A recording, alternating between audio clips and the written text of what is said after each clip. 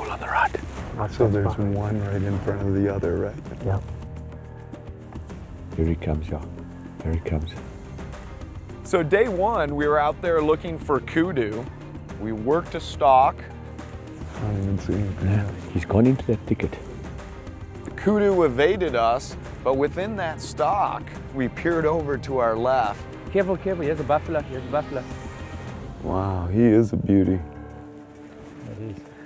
You guys don't know the bank any money. He looks like he's coming to collect something. Yeah. Actually, my favorite description is mean as a half-ton hemorrhoid. He's pissed off too. Look at him. You know, for your first African experience was just impressive. Just move a little bit this way. Just move a little bit this way. The beauty was, if he charged, he was free.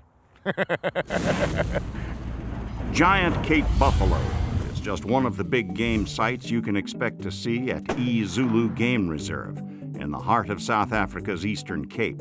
For World of Beretta host and author Chris Dorsey, this is a chance to introduce friend Dan Flavin to the Africa Dorsey's known for decades. Having hunted the Big Five and most of the other African game, has only deepened Dorsey's passion for the continent. You can hunt all over the world. You can have incredible experiences, and it will be similar yet distinctly different than the safari experience in Africa. It's such a unique experience that you just want to share it with the right kind of people and people that would appreciate it as much as, as you do. Chris Dorsey and I have been hunting the last couple years together out in Nebraska. So this was my first opportunity to leave the North American continent to go on a hunt. And it was just uh, something I, I had no idea what to anticipate.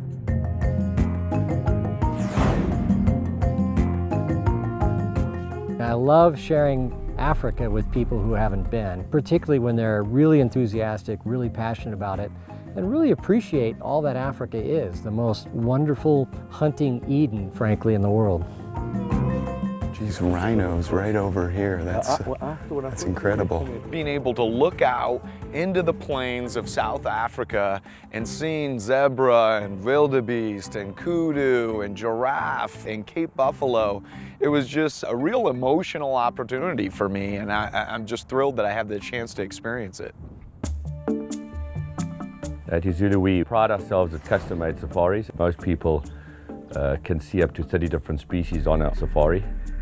Now going to eZulu, it's 75,000 acres. We call those national forests in the United States. And it's a huge property, it's a stunning property, and the diversity of game in that property was as good as I've seen anywhere. Looking for gemsbok, buddy. you know, first up for Dan to hunt was gemsbok. Straight over under the tree. Okay, let's go. Oh, those gemsbok are smart. You're amazed when, they, when they're just walking like that. You think, oh, I'm going to catch up to them now. You put on 200 yards and they pull 300 yards. Boy, they cover some ground, don't They're going to play. They're going to play serious cat and mouse with us. We work this, this herd over in open plains. So we've got so many eyes watching us. They're herd animals, so there's lots of sets of eyes, so you're not just getting past one. You're trying to kind of sort out how do I get to the one I want through the 50 that are looking at me. So we really got in there and, and stalked. We got the wind right, we got the sun right. I said to Dan, well, th- this is not going to be an easy one. Okay, this is the backside. Okay, he's coming out from left to right. Okay, wait for him. Wait for him. And we stalked up to some thick brush and they were coming from left to right. And I put Dan up on the sticks. The big bull came walking out to the right. Okay, there it's going to stand. There you go, there you go. Take him. Right Oh, just, just, just under. God. Just watch him. They're running. Watch him. Watch him. See the blood. No blood. It was literally just like. Matter of inches. Every animal deserves a warning shot. Yeah. okay, let's get to the This time for real, huh? Yeah. It's easy to get down on yourself a little bit when you're in Africa because you just want everything to be perfect because it, it's a dream come true. But we just kind of shook down a little bit, and, and the beauty of Africa is there's always an opportunity around the next bend. We got gemsbok over here. Yeah. There we go. Right here, right here. Let's have a look. Yes, big group, eh? Yeah, it's a big group. Big group. 15, 20 of them right there. There's a big bull in the back. See him working his way from left to right. There he comes. Got He's him. going to stand. Yeah, Yeah. there we go. Okay. Let's get in after them. Let's go. Let's go. We get a chance there. There's a good one there. Okay, see him. He's moving from the right to left. And then, I mean, I just peeked across at Dan and he just, you know, was ready to kill. He had the, the adrenaline was going and he had that killer instinct, you know, to take him down. He just, he got rock solid. Okay, he's gonna stand now. Wait, he's gonna stand. Okay, take him.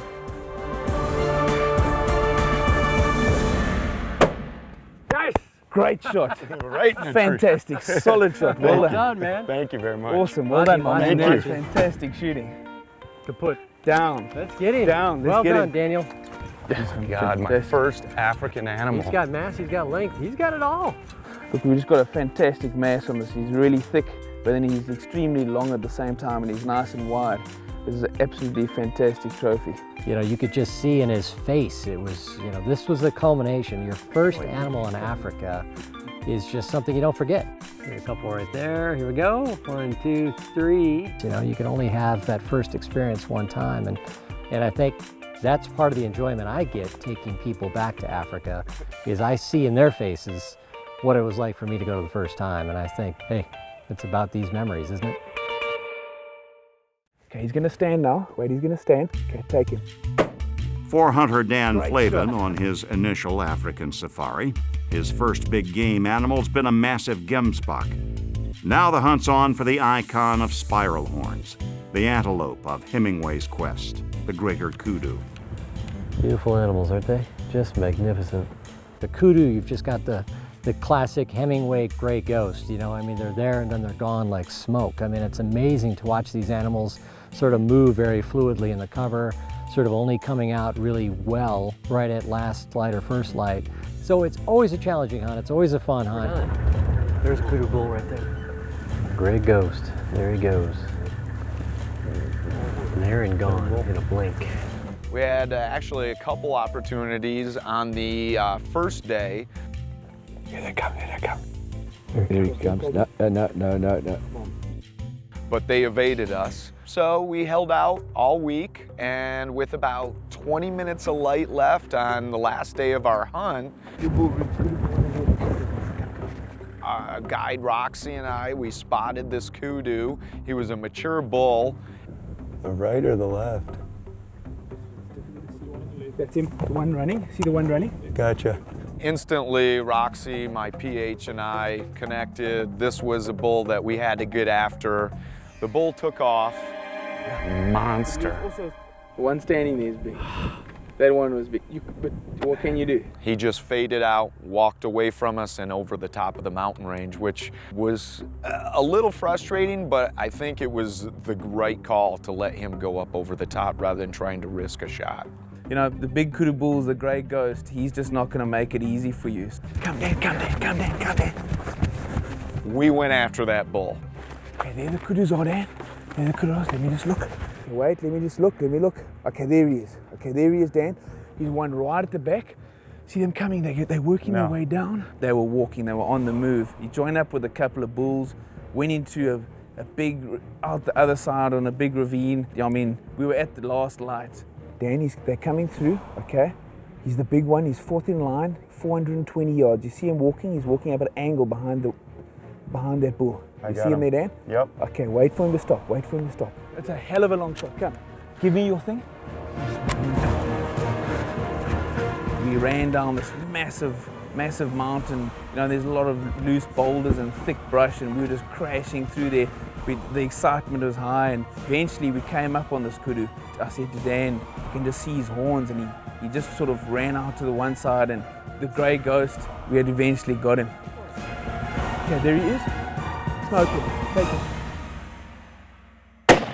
Whoa! Yes, man! Yeah! Woo! What a kudu! to see that, that kudu bull just crash down when Dan absolutely smashed him with the Sako 300 Win Mag. You know, I mean, we were just really just pumped up and high fives, and you know, we were just going crazy. It was like a hunt of a lifetime. And that is, I mean, Dan, look at his thickness and look at the ridge line coming up here. He's just got an awesome ridge line. Congratulations. awesome stuff. One thing I've heard from a lot of people is that on your trip back from Africa, you will be planning your next trip to Africa. It's a tough concept to get your arms around because you're doing all the planning, all the preparation for this hunt of a lifetime. And yet I found myself in that very same position on my flight back, trying to figure out what game I didn't take, what I would like to take, what I saw that I didn't even know about, and how do I get back. I definitely want to go back.